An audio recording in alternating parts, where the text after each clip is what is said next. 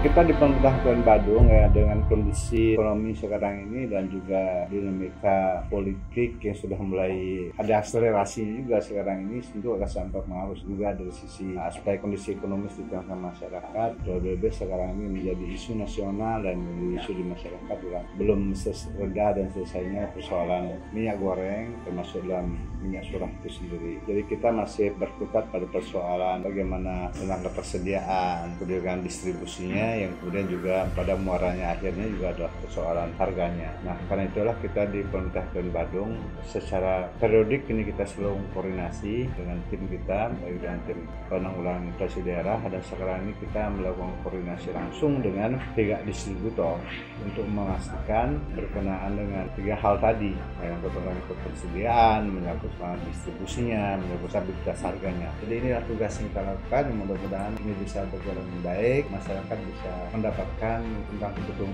pokoknya dan juga dengan harga yang terpantaskan dan sewajarnya dia tidak terbebani ekonomi terberat masyarakat.